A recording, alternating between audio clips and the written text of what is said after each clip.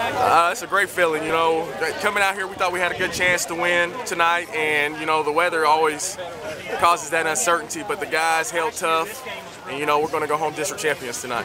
This is step one in our process this year, and, and we were able to do that and get, and get it done.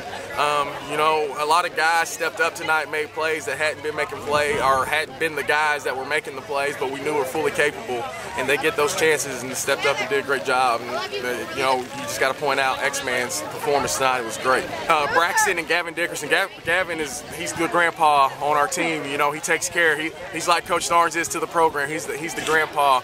And you know, tonight he kept us together, took us in at halftime, calmed us down, made sure we finished the game. So, X-Man and, and Gavin really stand out to me. And, I, and, and Nesbitt early, and Dawson early, and, and Lamy early, all made plays. Hunter called a great game. The offensive line is incredible. I mean, you see, we didn't miss a beat, changing back. So. Um, that's just a great game. Sean O'Leary played great. Uh, Lathan Easley, I mean, you can go down the list. You know, Peyton Riley played great.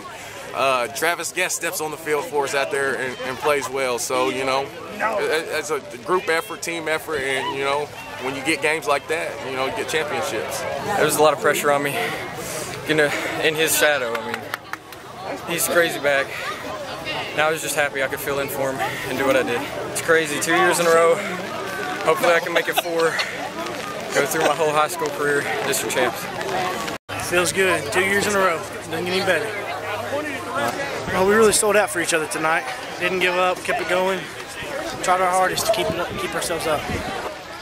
They kept that guy just caught a ball over me. The whole sideline was talking to me, so I just had to focus him out. Yeah, I saw, yeah, baby. Yeah. Hey. I saw him over there, and so I came down a little. He missed the ball. I picked it. There it was, district champs.